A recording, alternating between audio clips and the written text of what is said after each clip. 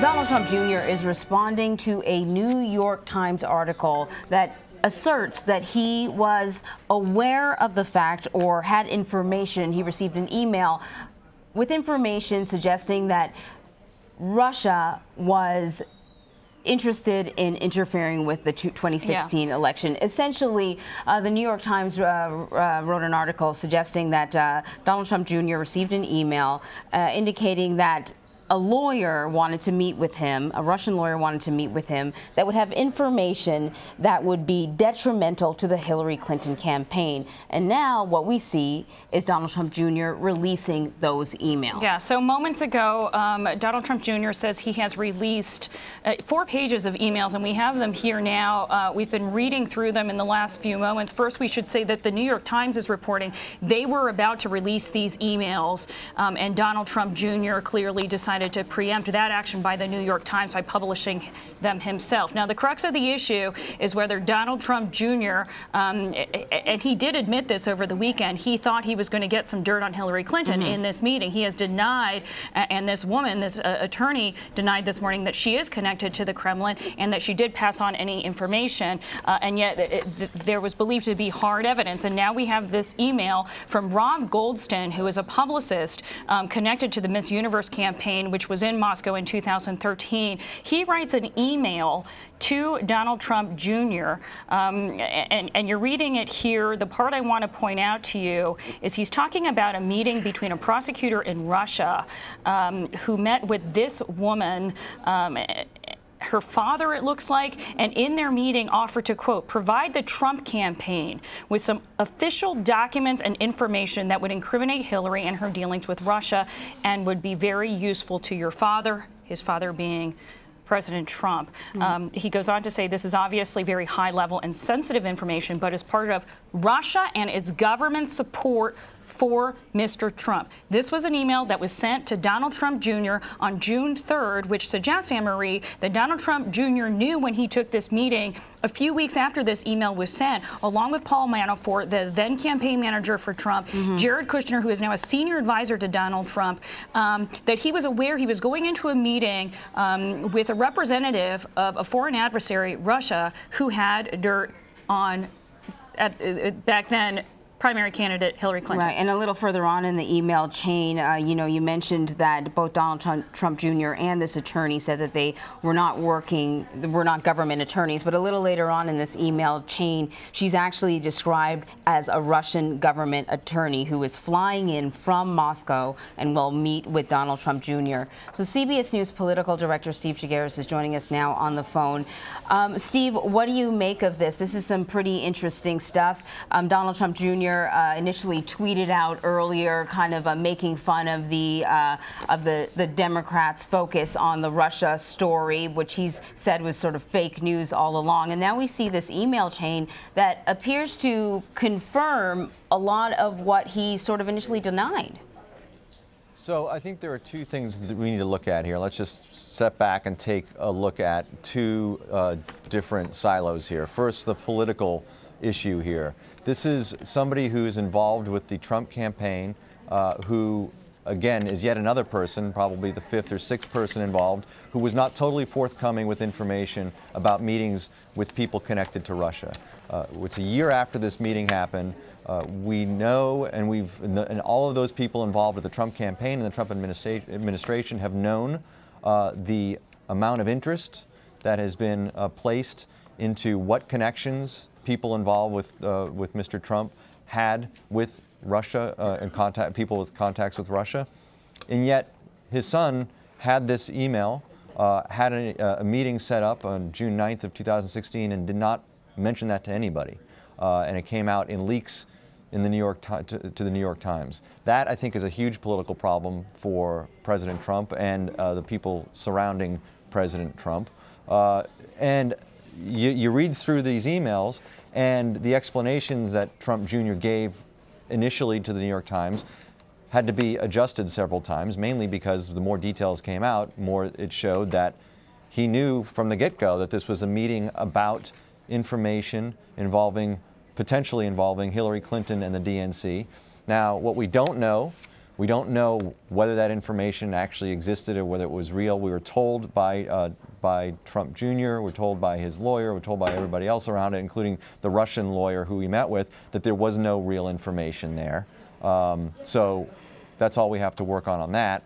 The question is, from a legal standpoint now, uh, was there an intent to conspire with Russia and the Russia government to uh, interfere in the 2016 election? That's not a question I can answer. That's a question that the special counsel is going to be looking at. Um, I'm not sure this is the only piece of evidence they're going to be looking at to try to determine that, uh, and I'm not sure you can determine that from this this email. But what is what is really curious to me, and I think is going to be very very interesting to a lot of people as you read these emails, is the page four of this email. Uh, where, where, it specifically says this is the email from uh, the agent to Donald Trump Jr. Uh, describing the information uh, that he uh, his uh, agent can pass on to the campaign, saying, quote, this is obviously very high level and sensitive information, but is part of Russia and its government support for Mr. Trump. Mm-hmm. That, I think, is the operative uh, part of all these emails, and it's, it's confusing to me, but I guess not, because the New York Times was about to publish these emails. But for Donald Trump Jr. to put these emails out uh, ahead of that and say there's nothing here, that part where it says it's part of Russia and its government support for Mr. Trump, that's sort of what this entire thing is boiled down to. Mm-hmm. Uh, yeah. Was the Russian government uh, intending to interfere in the election on behalf of, of Mr. Trump? Now, the intelligence community has drawn that conclusion.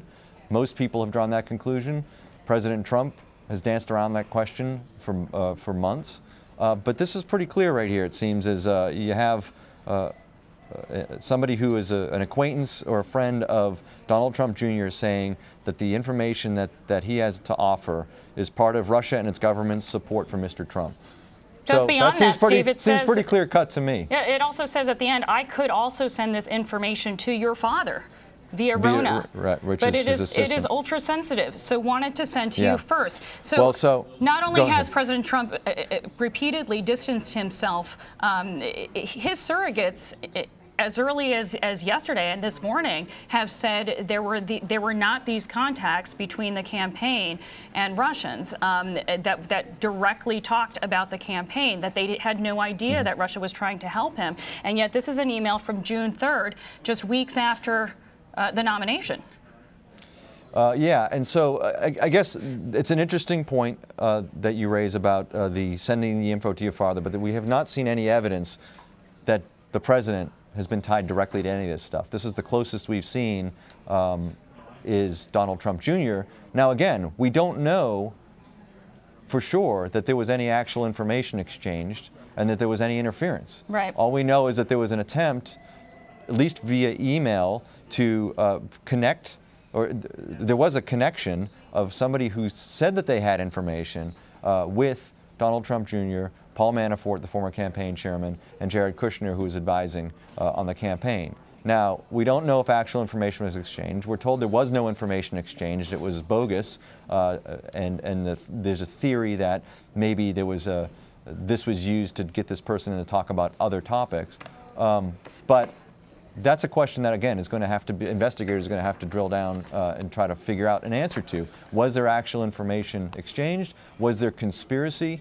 uh, between these folks and, uh, and the Russian government to interfere in the, in the election. This email does not clarify any of those questions, uh, but it does, I think it's more smoke uh, for, this, uh, for this administration and for the people involved in the campaign involving the Russia story, and uh, raises a whole new host of questions about what else do, not we know publicly about these meetings and who else met with, with Russian officials and what was actually uh, accomplished from those meetings, and was there actual interference that the campaign and people around the campaign knew about? Yeah, indeed. And when you say people around the campaign, we're talking about his son, his son-in-law, Paul Manafort, who was helping to run the campaign at the time. Mm-hmm. These are probably the closest people to candidate Trump and now President Trump. Mm-hmm. Uh, CBS News political director Steve Chaggaris, thank you so much.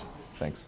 So, just to update you all on what we're covering, uh, Donald Trump Jr. responding to allegations from uh, the New York Times that he knowingly met with a Russian uh, attorney who was operating perhaps as an agent of the Russian government to give information, to give him dirt on Hillary Clinton. He released a series of emails um, that you would think would be counteracting the allegations, but they actually seem to be endorsing the allegations. This is uh, the New York Times article uh, right now, and you can just see at the top on June uh, 3rd, 2016, an email was sent to Donald Trump Jr., which could hardly have been more ex explicit. I'm going to just jump down a little bit and, and quote, it quotes portions of this email. It says there are documents that would incriminate Hillary Clinton and her dealings with Russia and would be very useful to your father. That's what the email says. This is obviously very high level and sensitive information, but is part of Russia and its government's support for Mr. Trump. Yeah, and I'll just uh, read this part of the Twitter statement uh, that Donald Trump Jr. sent out along with this batch of emails, which contradicts the emails, like Yeah. you said. He says, quote, the information they suggested they had about Hillary Clinton, I thought was political opposition research. Okay, so then I'll jump forward, and, and the point being that both parties uh, conduct political opposition research. Right. Um, he said he did not believe the woman was a government official. And yet, these emails that Donald Trump Jr. tweeted out specifically say that this is a government attorney Right. who is flying from Moscow for this meeting, which he then takes again with the campaign chairman and with Jared Kushner, who remains a senior advisor to President Trump in the White House. She is also denied that she's a government attorney, and uh, both uh, Donald Trump Jr. and the attorney say that what they primarily discussed was um, a- adoption laws and the lifting of sanctions in relation to uh, Americans adopting uh, Russian children. So the question remains, Stephanie. Um, why release this email chain? Because it certainly seems to be backing the narrative that the New York Times reporters have have revealed in Yeah. their in well, their I think that answers the question. Is that the New York Times is now reporting that they were planning uh, to release these emails. Mm-hmm. So clearly, um, Trump Jr. is trying to get ahead of this story and sort of spin it the way he Yeah. believes um, it went down. Uh, and and I, I think a key question is what was wrong with this? Right? Is um, is meeting with as a campaign Right. official, he was not a government official. He was a Right. private citizen at the time. He had had business interests. The Trump organization has had business interests in Russia. Um, does meeting with what, what many would consider a foreign adversary, even an enemy like Russia, and, and potentially agents thinking you're meeting with an agent of the Russian government, whether she is or not, and we don't know. Right. Um, is that okay? And, and, and is that is that above? You know, does that contravene any laws?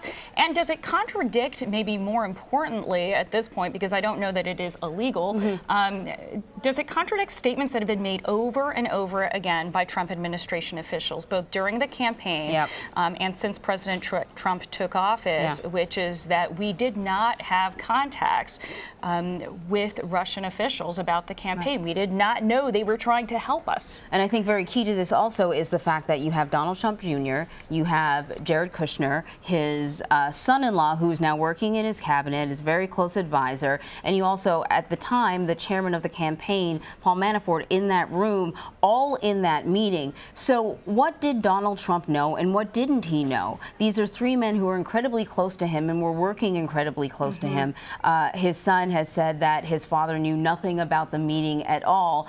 But, you know, he's also said a few other things, Yeah. like, uh, you know, I had no idea, and I don't believe that this woman was a government agent. It says here twice in the email, uh, in the email uh, chain here, that she's called a Russian government attorney, not just a Russian attorney.